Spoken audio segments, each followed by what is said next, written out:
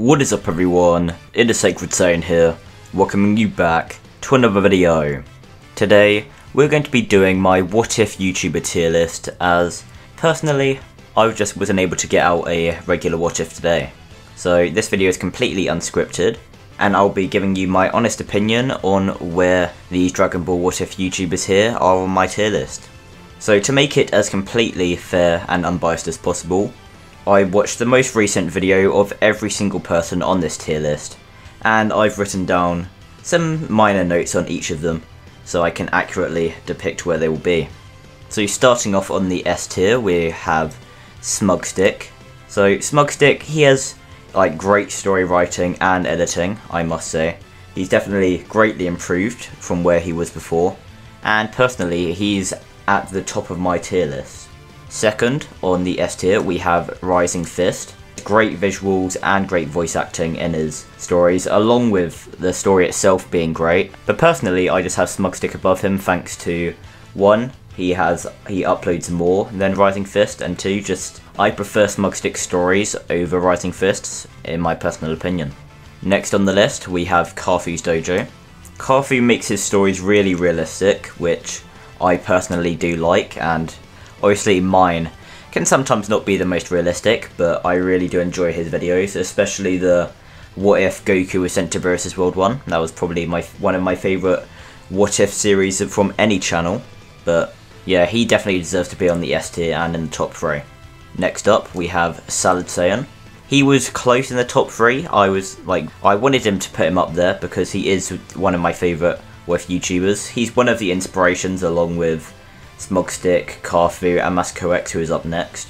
And his videos are really good, like you guys should all check him out. Obviously my name is sort of derived from his, you know, Sacred Saiyan to Salad Saiyan. But yeah, he definitely deserves in the S tier. He has really fun and cool ideas for his stories. And he has a good editing style, which I would say is definitely far better than mine is right now. But you know, I'm on my way there. Next up, we have Masako X. He has great stories, he has great voice acting in them. The only thing that holds him back from being in the top three is just simply that he doesn't have that many visuals. Like, most of the time it's just his face on camera, and then like, every so often there'll be like one or two images that pop up on the screen. If he had more visuals, then he would easily be in the top three. Unfortunately he doesn't, but his videos are still amazing, he's still in the top five and you guys should definitely all check him out, which I'm pretty sure you all have, since he's the biggest What If YouTuber, but you know, you guys should definitely all check him out if you haven't, he's a really good YouTuber. And up next, we have a surprising person in the S tier, we have Geeks for Fun. Here's What If the Saiyans Were in DC is an amazing series, like with Carthus' What If Goku was sent to Beerus World, Geeks for Fun's What If the Saiyans Were in DC is just one of my favourite series of all time, it is absolutely incredible, you guys should definitely check out his channel. That series especially, since it is absolutely incredible. And he deserves to be in the S tier, even though he doesn't have nearly as many stubs as anyone else in it. Up next, we have Saiyan Scholar. And the reason for this is, he has very good storytelling, and he has a great understanding of the characters when he makes what-ifs. The only thing that prevents him from being in the S tier is simply the fact that he doesn't make a lot of what-ifs. If he made more what-ifs, and more frequently, then he would be in the S tier. But unfortunately he just doesn't, so that just slightly holds him back from getting in there. But like I said, he has a great understanding of all the characters, and he has great storytelling, it's just he doesn't make enough what ifs to be put into the S tier. Up next we have Plus Ultraman. Um, so Plus Ultraman here, he has good storytelling and decent editing. Yet again, um, I'm pretty sure the last what if he made, like especially on Dragon Ball, was some time ago. As you'll see later in the video, some of them are prevented from being in a higher tier simply because of the fact that they just don't upload What If as much. Up next, we have Tylearn. He has good storytelling and good editing, but not really much more I can say here, that he definitely deserves his spot in the A tier. He should get more views, honestly. Because, like, he has, like, 40,000 subscribers. He needs like, he deserves more views than he's getting right now. So if you guys haven't subbed to his channel, then you should, because he deserves more views than he's getting right now. And up next, you have yours truly, Sacred Saiyan. So I think that I have good storytelling. You can care to disagree in the comments, and I have been getting better at editing. Ever since my What If Goku was the Legendary Super Saiyan reboot, my editing has improved greatly, and along with my storytelling, so I think I deserve to be in the A tier. I'm always I I know for a fact I'm not in the S tier. Some of you may think I am, some of you may think I'm even low on the tier list, but in my personal opinion, I think this is a good spot for me. And up next, we have Damon What If. I wasn't sure to put him like above me or below me, but we are, in my opinion, pretty close. And just like me, I think he has good storytelling along with decent editing, so he deserves to be right next to me up in the A tier. Up next, we have Lightro Storm, who has good storytelling and good editing. The like the thing is, I would put him above me. Like I would put him right here on the tier list. The only issue is his upload schedule, like, it's just, it's bad. It's like what I said earlier, if people uploaded more, they could get higher on the tier list. If Lightro uploaded more, he would be above me on the tier list, but just simply because of that fact, I just have to have him down there. But if he starts uploading again more, then he will definitely be, like, right above me on the tier list. Up next, we have our good pal Dragonstar Productions. We did a collab with him a couple months ago. He's a really cool dude, and he has good storytelling and decent editing like everyone else on this tier. I can't really say much more about it, I just think this is a good place for him up on the A tier, and I think he definitely deserves his spot. And finally, to end off the A tier, we have What If Universe. He should definitely get more views, he deserves it, because he does have good storytelling, along with decent editing like everyone else up here. But I just feel like he definitely doesn't get enough views on, on his What Ifs. But you guys should definitely check him out if you haven't already. Now, starting off the B tier, we have Saiyan Motion. So, he has decent storytelling, so that means it's not on par with the people in the A or S tier, but it is still pretty good storytelling, and along with decent editing, that gives him the top of B tier. I was debating whether to put him like bottom of A tier or top of B, but I think top of B is better suited for him. Up next, we have our boy Omak Productions.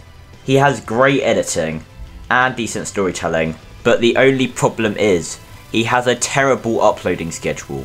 If he didn't have a terrible uploading schedule, he would be on the A tier, guaranteed. But it's just, he, I don't even remember the last time he uploaded, it was just so long ago. Especially on a What If. Though, a little promotion for him. On Christmas Day, he is starting a new series, Dragon Ball XYZ, which I do actually voice a character in, so you guys better check that out when it comes out. Hopefully, it's going to be good. I mean, I haven't seen the final product myself. I haven't seen any of it actually, other than my lines. But I'm hoping it's good, and maybe if he starts uploading again after that, then we'll see him crawl his way up onto the A tier. But until then, he is a solid beater. Up next, we have Lags What If. I was arguing if I was going to put him above Omax simply because of Omax's terrible upload schedule, but Lags What If is still really good with YouTuber. He has good storytelling, decent editing, but the only issue is, like Omak here, he also has a bad upload schedule. I think Omak just got bored of making what ifs. I'm not sure why Lag didn't post as much, but he's also been making art for me recently, so huge shout out to him.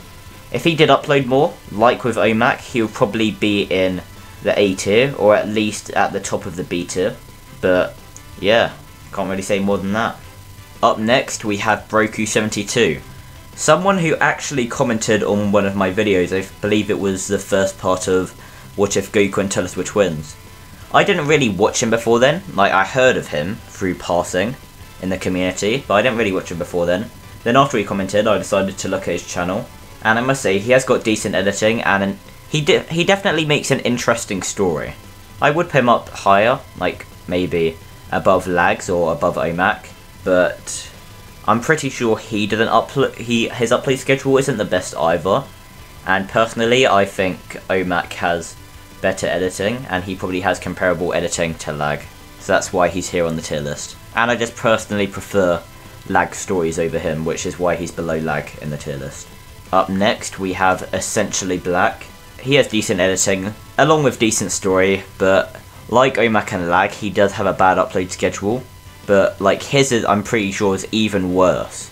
Maybe like the same as Omax or even worse. but he has not uploaded in a very long time. Like, I would say his, like, videos are comparable to, like, Lags, but just because, like, the gap is so big, he, he deserves to be here on the tier list. He's still a B tier, but if he did upload more frequently, he would definitely be crawling up to the higher levels of the B tier. And finally, to end off the B tier, we have Dex Comics. So I haven't really watched much of him, but he does have decent editing and a decent story. But the reason he is this low on the B tier is simply because he doesn't post Dragon Ball anymore. He he's a Pokemon What If YouTuber now. So I literally can't put him any higher on this tier list. Now, starting off the C tier, we have Sensei Stealthy. Um, he could improve in his storytelling, but other than that, he has decent editing, along with some decent thumbnails, so he definitely deserves to be here, up on the C tier. Next, we have Goten. He has decent visuals, and like Stealthy, he could also improve in his storytelling. And the thing is, I would put him above Stealthy, but the only issue is, Goten's upload schedule is also horrendous. But if Goten uploaded more, he would definitely be the top of C tier, maybe even bottom of B tier. But unfortunately, because of that, I have to move him down here, to below Stealthy on the C tier. Up next, we have Anime Anorak. He could have better thumbnails, and he could also have better visuals in his videos. However, he does make pretty decent stories, and he is pretty underrated. And he, I also like the voices that he does, like the Goku and Piccolo voices especially, and even the Vegeta voice. So he's definitely like pretty good at voice acting for his videos, and like I said, he makes a pretty decent stories, and that's why he's up here in the C tier. If he had better thumbnails and like better visuals in his videos, then I could easily see him going to the top of C tier.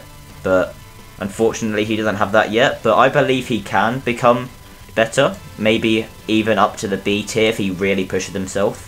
But for now, he is on the C tier. And now finally to the D tier. We're starting off with Vegeta T23. There's only one complaint here. Well, I mean, he could improve on his thumbnails, but the only real complaint here is that he only has one image throughout his entire video. He has decent storytelling, however, that only having one image throughout the entire video really does just ruin the experience. So he could definitely improve his visuals, and if he did, then he would definitely be up on the C tier. And if he improved his thumbnails as well, then that would easily put him onto the C tier. However, like I said, only having one image throughout the video really does bring him down to the D tier, unfortunately. Up next, we have Goku T23. His videos could use more editing for the normal scenes, not including the transformation scenes. And personally, the stories he makes are just not my cup of tea anymore. Obviously, I used to make stories like him. Like, I'm not putting him down here because, oh, everyone puts him at the bottom, or, oh, he makes fanfic, whatever. No, I used to do the exact same. It's just simply, like I said, he could use more editing for his normal scenes. His storytelling could also improve. Every, obviously, everyone's could improve, but I believe his can improve along with more editing for his non-transformation scenes. All around, he, he's not terrible like everyone says he is, or no one in the D tier is terrible, but there's room to improve. And finally, we have Golden Saiyan. I didn't want to put him this low, but Golden Saiyan, if you're watching this, having only the thumbnail throughout the entire video, come on man, I know you can do better than that. And you can also improve on your storytelling. The main thing is, only having the thumbnail throughout the entire video, it really does bring you down. Like, yes, Vegeta only has one image throughout the entire video, but you, you only have the thumbnail throughout the entire video. Like, at least Vegeta T23's background changes every so often. However, you just have the thumbnail of the entire video, which does definitely ruin the experience for me. Along with you being able to improve your storytelling, this is personally where I would put you. So guys, this is my personal opinion on the Dragon Ball What Ifers on this tier list. I'm sorry, if you're not on this tier list, then it is nothing against you. I just either haven't watched any of your content, or I simply forgot to put you on the tier list. And for anyone who's like on the lower tiers, or anyone who's on the higher, this is just personal opinion. Everyone has their own personal opinion. This is completely subjective, not objective. So, if you think that you're higher, then let me know. If you think anyone's lower, then let me know. I want to know your guys' opinion in the comments, since this is just mine. But with all of that out of the way, I hope you guys enjoyed my take on this, and you can let me know down below if you share my opinions, or and if you think this tier list is perfect, or if you think that there could be some changes. And with all of that out of the way, I would like to give a huge thank you to all the channel members that are showing up on the screen. If you would like to be a channel member and get shouted out like the other channel members here, then there is a link in the description down below to become a channel member. It greatly supports me and helps me immensely. With all of that out of the way, hope to see you all in the next video.